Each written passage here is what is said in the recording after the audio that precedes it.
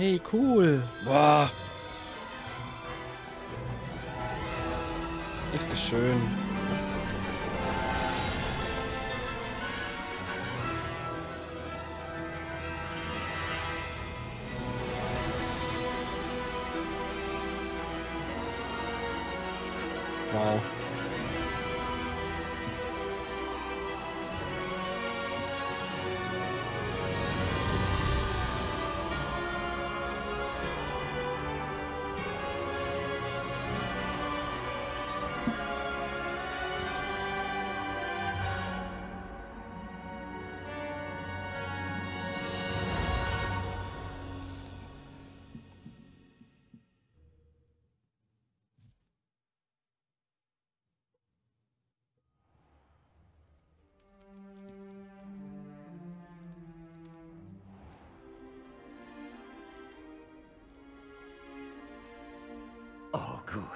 Die Einführungsfeier ist noch im Gang.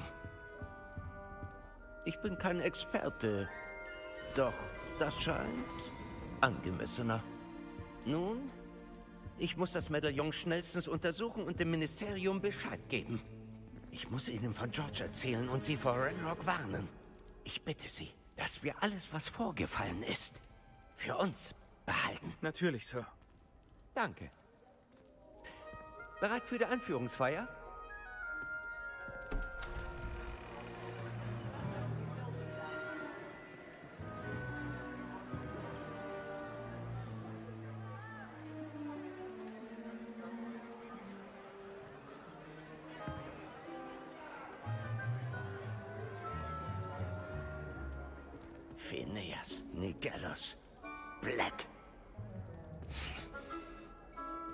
Treffen Sie den Schulleiter.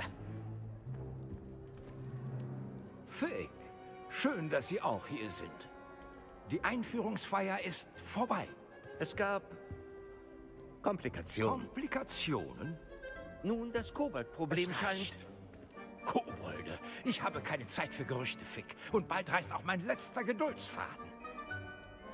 Wenn Sie Glück haben, bekommen wir Sie heute Abend noch einem Haus zugeteilt. Ich melde mich.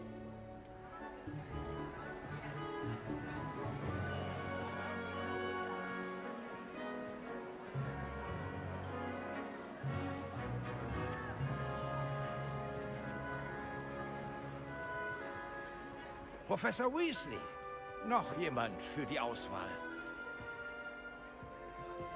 Willkommen. Sie kommen gerade recht. Bitte setzen.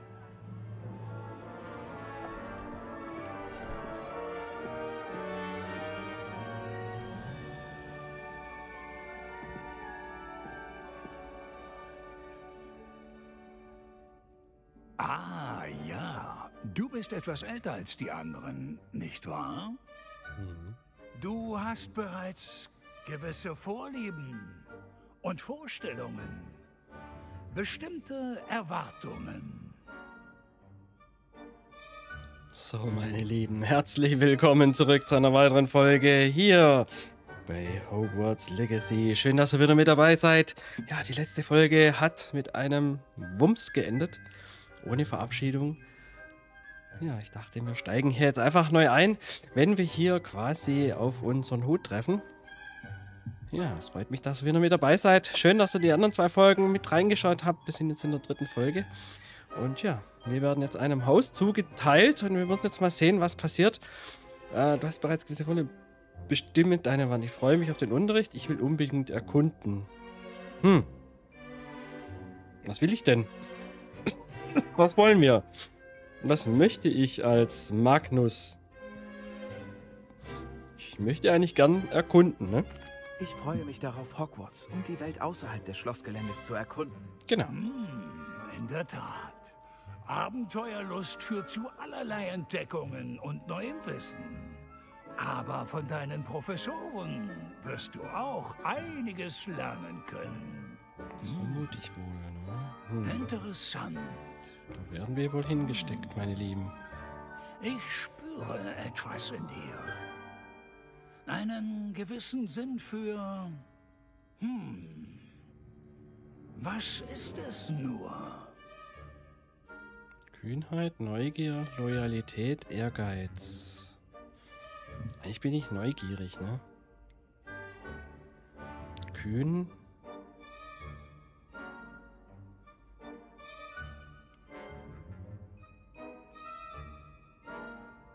Ehrgeizig sind wir schon auch, ne? Aber Kühnheit.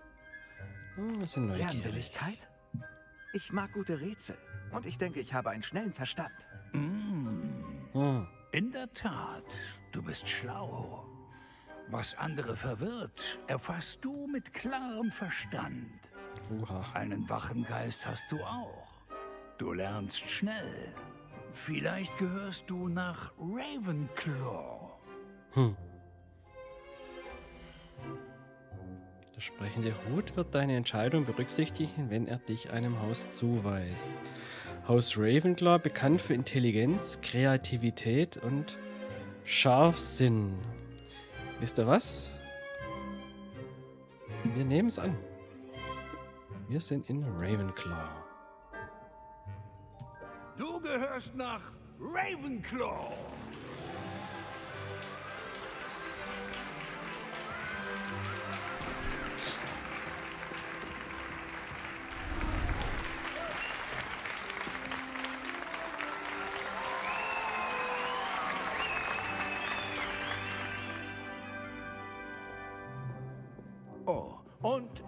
Eine Sache noch.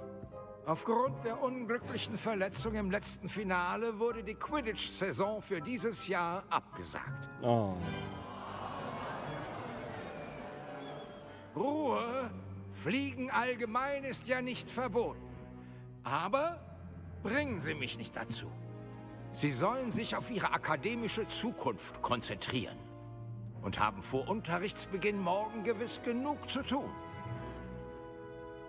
Ich sagte, dass Sie vor Unterrichtsbeginn morgen gewiss genug zu tun haben.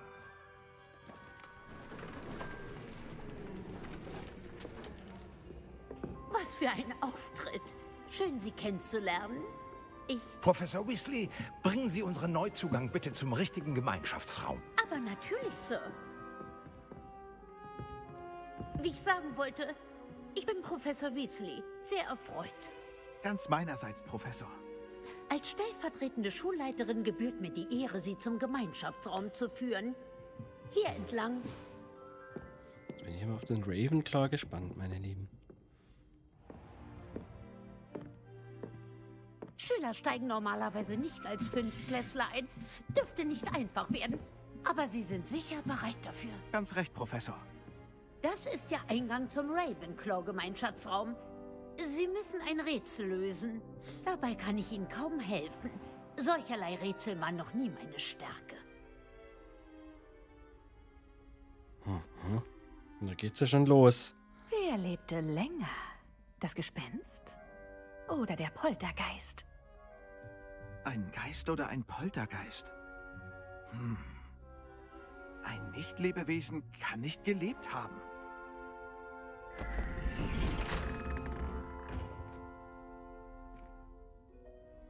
Sehr gut. Nun, gehen Sie rein und schlafen Sie gut. Morgen ist ein großer Tag für Sie. Ich hole Sie morgen vor der ersten Unterrichtsstunde hier ab. Danke, Professor Weasley. Gern geschehen. Genießen Sie Ihre erste Nacht auf Hogwarts. Gute Nacht. Interessant, meine Lieben. Ich vermute mal, der erste Morgen. Auf Hogwarts, oder? Yep. Niemand da. Ich sollte zum Willkommen. Gemeinschaftsraum. In Hogwarts. Finde deinen Gemeinschaftsraum.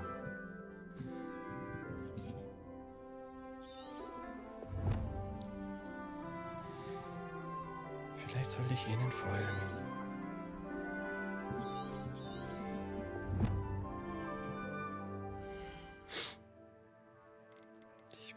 Einmal kurz abspeichern und zwar hier.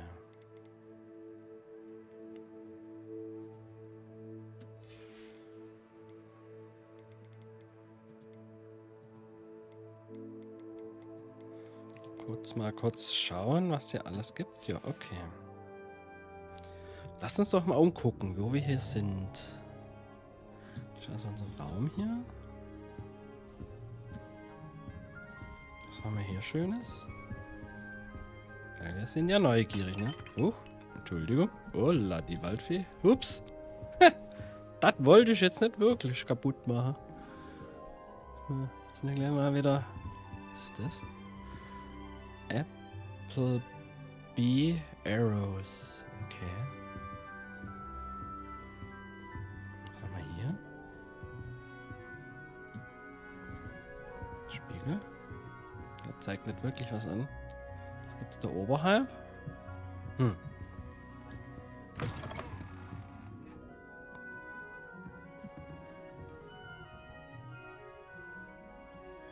Also der Weg geht nach oben, ne? Finde deinen Gemeinschaftsraum, ja gut. Und gehen wir mal den Gemeinschaftsraum suchen. Ich höre irgendwo Stimmen. Abpassen. Links oder rechts? Ich sollte mich vielleicht mal vorstellen. Stell dich Amit vor, stell dich Everett vor, stell dich Samantha vor. Was ist hier? Ich muss nur den richtigen Moment abpassen. Was ist das hier?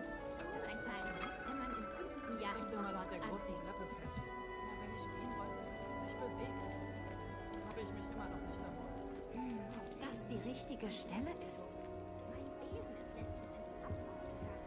Einfach mal schön umgucken, meine Lieben. Was hier alles so gibt.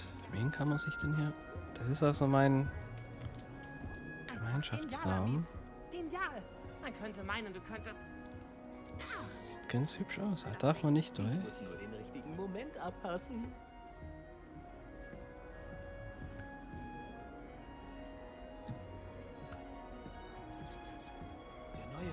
Fünftklässler. Der wohl hier kommt. Seltsam, so spät mit der Schule anzufangen. Ja. Das ist ja mal... Ach, der Hausgeist. Schaut mal. der Hausgeist. Gleich wird's interessant.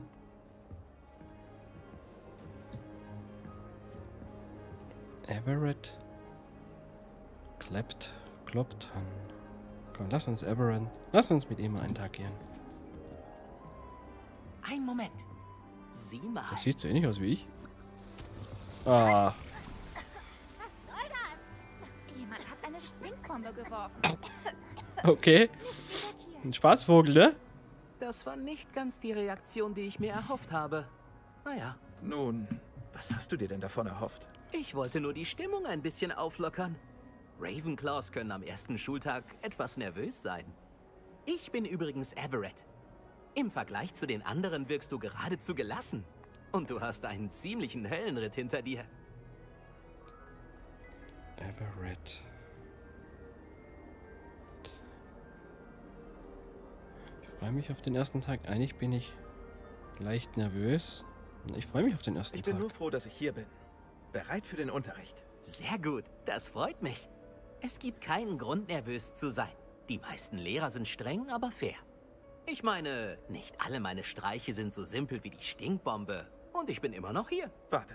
Hm. Sagtest du, die meisten Lehrer sind streng, aber fair? Ha, genau. Aber am besten machst du dir selbst ein Bild. Ich gehe vielleicht manchmal zu weit. Ich sollte abhauen, bevor jemand die Stinkbombe mir zuordnet. Nett, dich kennenzulernen. Ebenfalls Everett. Okay.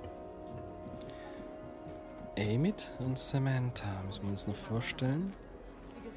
Ist das die Was Samantha? die richtige Stelle ist? Was ist hier mit den Äpfeln? Ah, da kann man einen Apfel essen. Hm, lecker. Samantha Dale.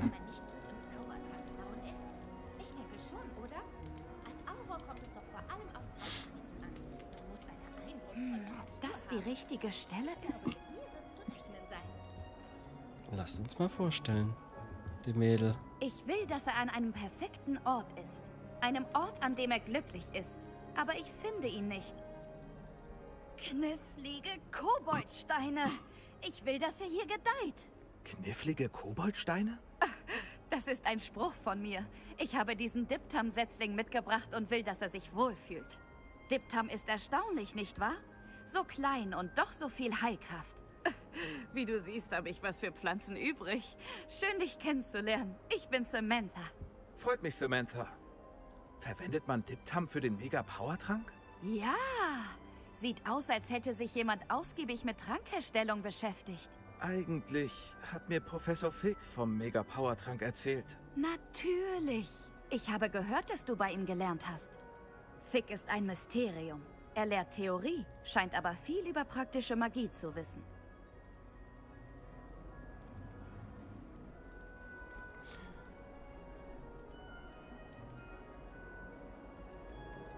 Professor Fig weiß eine Menge über, ähm, verschiedene Arten von Magie. Ich hoffe, er hat dir nicht nur vom Mega-Power-Trank erzählt. Du hast bestimmt viel nachzuholen.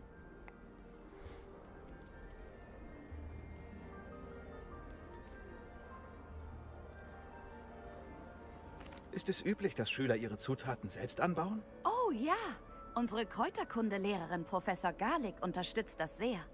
Und ich glaube, Professor Sharp, unserem Meister der Tränke, ist es egal, woher die Zutaten sind, solange die Tränke gelingen.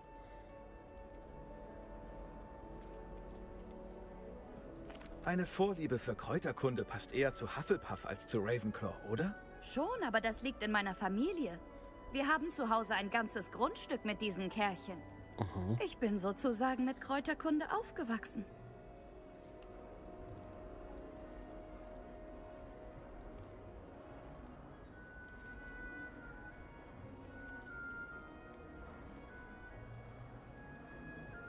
Kann man das ja noch brauchen, ne? Hat mich sehr gefreut, Samantha. Viel Glück mit deinem Diptam. Danke. Und auch dir viel Glück an deinem ersten Tag. Dankeschön. Armid. Was wir uns noch vorstellen? Wo ist der denn? Huch. da fliegen Blätter rum. Hallo? Na gut. Hm, Was bist du für einer? Ganz ruhig. Emit Tacker. Ich muss mir den aufschreiben. Ich muss mir, ich mache mir hier Notizen. Ob man das braucht, weiß ich nicht, aber. Takar. Mal gucken, wie man den ausspricht. Oh, ein Schönling. Ah, hallo. Willst du mal gucken?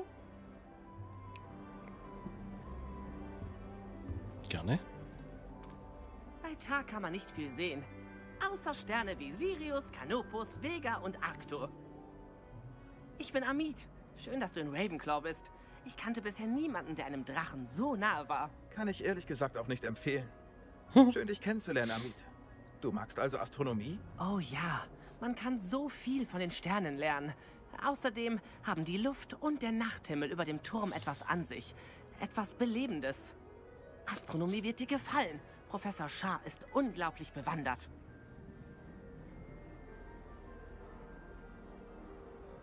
Ich würde gerne Astronomie belegen. Klingt interessant. Dann habe ich gute Nachrichten. Du belegst auf jeden Fall Astronomie. Es ist Pflichtfach für alle Fünftklässler. Der Turm wird dich begeistern. Außerdem kann ein gutes Teleskop dir Dinge zeigen, von denen du nie geträumt hast. Dann sehen wir uns wohl im Unterricht. Ja, apropos, ich muss zu meiner ersten Stunde in diesem Jahr. Es geht doch nichts über den Geruch von frischem Pergament. Wir sehen uns. Okay. Hallo, Und du? neuer Ravenclaw. Dicht dich mit Professor Weasley vor dem Gemeinschaftsraum. Lass mich mal sehen. Sollen mich dort mit ihr treffen. Also gut. Dann gibt es hier erstmal nichts mehr zu gucken, ne? Das ist nur zum Drehen. Was kann man hier machen? Nichts.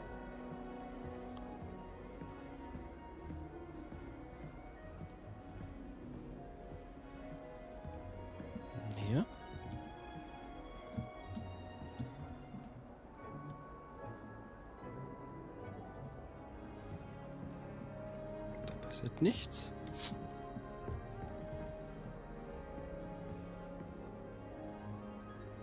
Ah, okay.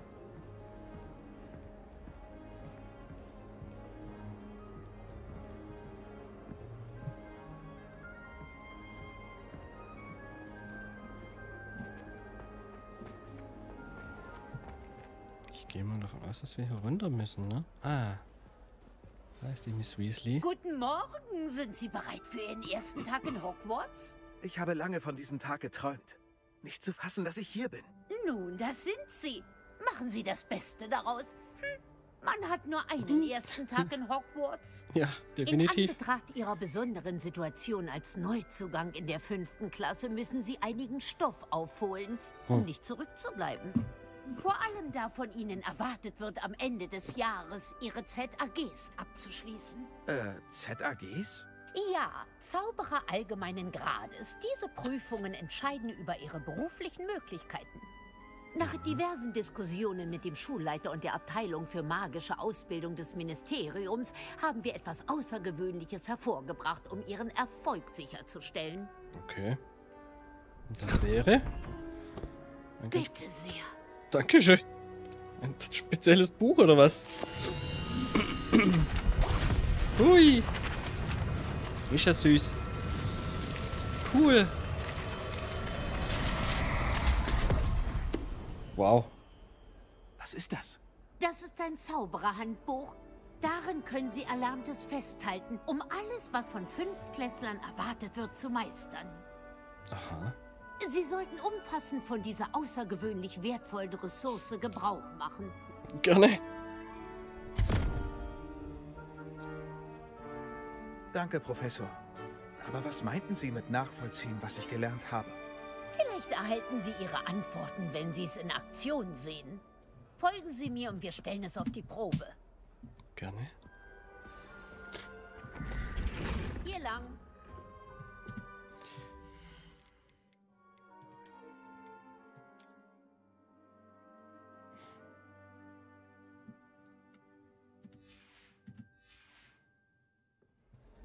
So, meine Lieben.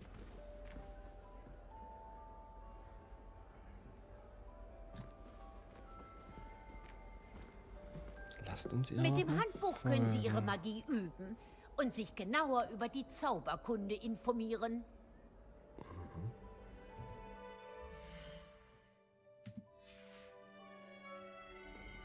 Ist das wahrscheinlich alles noch nicht freigegeben?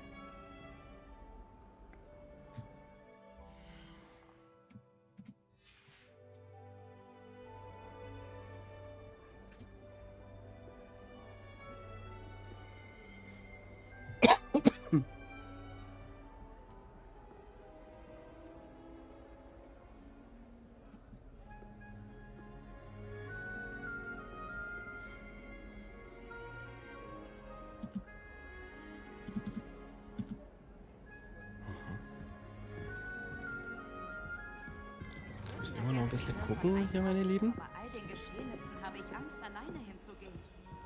Albie Weeks von Spintwitches hat so interessante Ideen zur Verbesserung von Besen.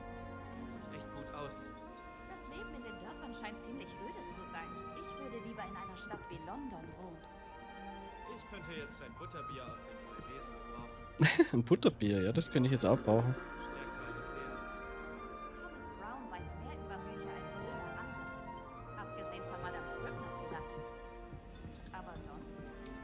So, meine Lieben.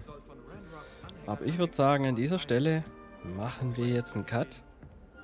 Ich bedanke mich bei euch ganz herzlich fürs Zuschauen. Wir speichern jetzt hier ab und ich freue mich, mit euch zusammen demnächst ab hier wieder weiterzumachen. Ich hoffe, ihr seid dann wieder mit dabei. Ja, das waren die ersten drei Folgen. Ich bin gespannt, wer alles von euch dabei ist. Und äh, ja, lasst gerne einen Kommentar da, wie ihr es bis jetzt findet. Ich weiß, ich bin nicht der große Actionheld, das habt ihr in der letzten Folge gemerkt, wo es darum ging, hier äh, gegen die Ritter zu kämpfen. Wahrscheinlich, wenn es wieder zum Kampf geht, habe ich wieder alles vergessen. Ja, wir gehen weiter voran. Es wird, denke ich, so alle drei Tage, zwei bis drei Tage, werde ich eine neue Folge für euch hier bringen. Je nachdem, wie ich dazukomme. Und ja, ich hoffe, ihr seid natürlich weiterhin mit dabei. Und ich freue mich, mit euch zusammen hier diese gigantischen Aufnahmen äh, zu sehen. Und äh, die Grafik, die ist bombastisch, gefällt mir super gut. Und ja, ich hoffe, ihr seid auf meiner Reise des äh, Magnus Sauberle, dass ihr weiter dabei seid. Und ich freue mich auf euch in der nächsten Folge. Bis dahin, macht's gut. Tschüss.